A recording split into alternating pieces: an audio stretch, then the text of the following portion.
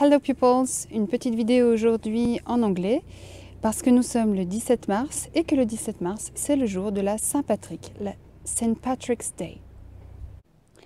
La Saint-Patrick est une fête euh, qui se célèbre essentiellement en Irlande ou par les Irlandais qui habitent dans d'autres euh, pays du monde.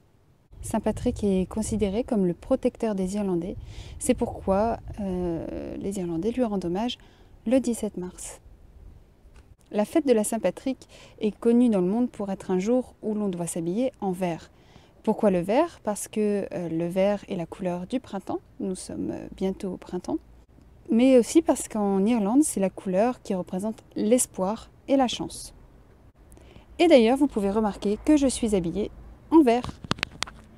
Donc je n'aurai pas droit aux petites réprimandes qui consistent à se faire pincer lorsque l'on n'est pas habillé en vert. Alors si vous n'êtes pas habillé en vert aujourd'hui, pas forcément de la tête aux pieds, allez vite vous mettre un peu de vert sur les ongles ou allez vite chercher un petit vêtement vert. Comme ça, ça vous évitera de vous faire pincer. Les Irlandais ne se contentent pas de s'habiller en vert, ils voient, ils voient vraiment la vie en vert ce jour-là. En dehors de l'Irlande, comme aux États-Unis par exemple, il y a certaines villes qui comportent une forte concentration d'Irlandais. Donc le 17 mars, euh, dans ces villes, on peut assister à des parades où les gens défilent, euh, habillés tout en vert bien sûr, ou parfois même habillés en leprechaun, leprechaun en français. Les leprechauns sont considérés comme des sortes d'elfes, des petites créatures magiques, euh, vêtues de vert, puisque c'est la couleur de l'Irlande, et qui, et que l'on trouverait euh, au pied d'un arc-en-ciel avec un chaudron d'or.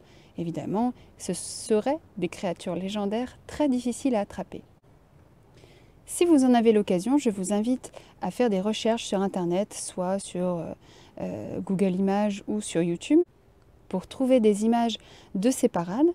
Mais aussi, sachez que la ville de Chicago, où il y a énormément d'Irlandais, voit, voit, les choses en grand, puisque en temps normal, alors pas en ce moment en pleine épidémie et en plein confinement, mais en temps normal, les autres années, euh, la ville de Chicago met même un petit colorant normalement inoffensif dans la rivière qui traverse la ville et la rivière devient euh, verte tout le temps de la Saint-Patrick. En ce moment, c'est un peu compliqué d'aller voir les copains et les copines pour vérifier s'ils sont bien habillés en vert et leur donner euh, des petits châtiments, des petites pincettes, etc. Moi, je vous propose de profiter de la Saint-Patrick, soit euh, en faisant peut-être un petit gâteau avec un colorant vert. Euh, on peut faire aussi de la gelée, il y a des recettes sur internet. Ou tout simplement, puisque c'est la couleur de la nature, faites comme moi, allez dans votre jardin, restez dans votre jardin, profitez de l'air frais. Sans sortir de chez vous, c'est possible de trouver deux ou trois petites activités en rapport avec le printemps.